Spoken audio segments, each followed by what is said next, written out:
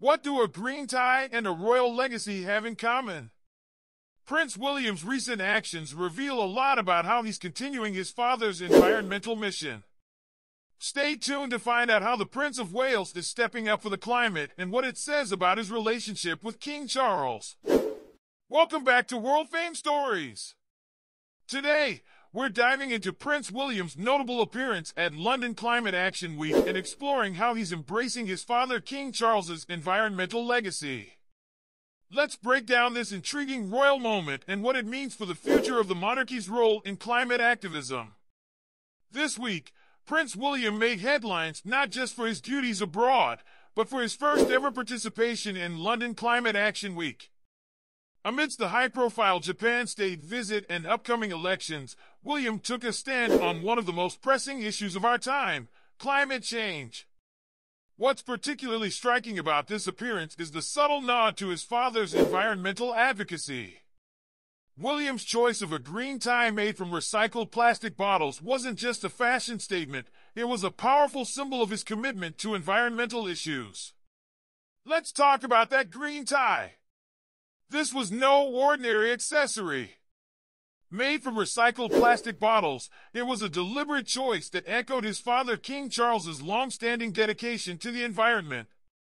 During his appearance at Climate Action Week, William listened to eco-entrepreneurs, offering support and encouragement as they showcased their innovative solutions for a greener future. In his inspiring speech, William praised the climate innovators, saying they filled him with hope for the future.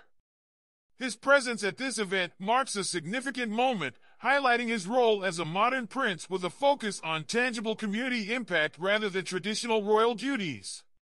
To understand the significance of William's actions, we need to look at King Charles's pioneering environmental work. Long before it was fashionable, Charles was sounding the alarm on climate change. As early as 1970, at just 21 years old, he made a landmark speech about the dangers of plastic waste and chemical pollution. King Charles's commitment to the environment included notable projects like the design of the first climate award, celebrating innovative solutions such as a feces recycler and sequins made from fish scales. His environmental advocacy has set a high bar for future generations. Following in his father's footsteps, William has made significant strides in the realm of environmental advocacy. In May, he used his global platform to address antimicrobial resistance, AMR, a hidden health crisis that claims millions of lives annually. His powerful speech highlighted the urgent need for collective action against this growing threat.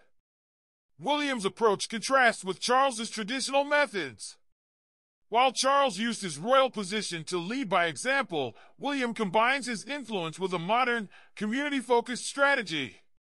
His green tie and participation in Climate Action Week are clear examples of this shift. What's fascinating here is the bond between father and son. Despite a sometimes strained relationship in the past, William's environmental efforts reveal a deep connection to Charles's values. From the symbolic green tie to his commitment to eco-entrepreneurs, William is not just continuing but also evolving his father's legacy. So, there you have it! Prince William's first foray into Climate Action Week and his subtle tribute to King Charles's environmental legacy show a blend of tradition and modernity in the royal family's approach to global issues. What do you think about William's environmental efforts and his connection to his father's work? Let us know in the comments below. Don't forget to like this video, subscribe to World Fame Stories, and hit that notification bell for more updates on the latest royal news. Thanks for watching!